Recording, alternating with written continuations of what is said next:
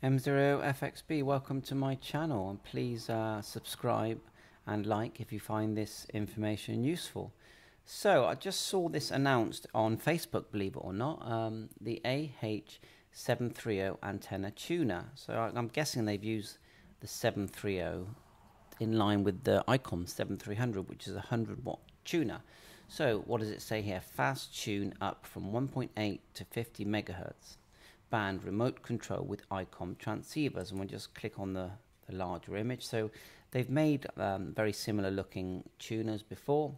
It's not a new thing. Let's have a quick look here and then look, if you scroll down through you can see a couple of here. Tuners. Different models but you get the idea. Similar uh, design type. So let's roll down. It's wide frequency coverage with a 7 meter or 23 foot long wire element. All band matching is possible from 1.8 to 160 megahertz band to the 50 megahertz band. High speed tuning, uh, minimum RF output for tuning, so 0.3 watts and it'll kick in, which is good. Um, and then IPX4 water resistant, and then more information here maximum power 150 watts PEP or 100 watts continuous. Tunable bands there. It's got memories, tuner accuracy, the size, the weight, current drain 0.7 amps. Temperature there.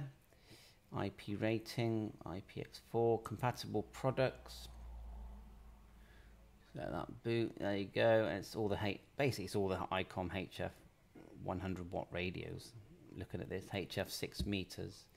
So that's expected, and then they've got something here, combinations, different things available. And there's the cable, the OPC 1465 that powers it. So, and it's a shielded cable. So yeah, all seems fine to me. Looks like they've, you know, they've brought out a new or a, a new current version of this tuner. Now, if it's been out a while, let me know. I've actually looked around to see what the cost is of buying this item and I can't find it even listed at the moment. Um, so I'm guessing it's four to five hundred pound for something like this. That is my guess. So let me know more IPX4. So thanks for watching my video. Please like and subscribe. Let me know. Do you prefer these sort of these type tuners?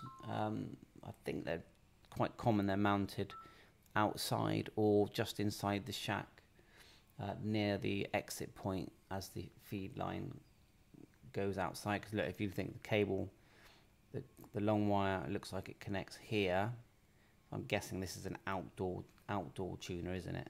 Your power feed here and that's where you plug in your your radio. So 7.3 thanks for watching. All the best. Please like and subscribe my channel if you haven't already. 7.3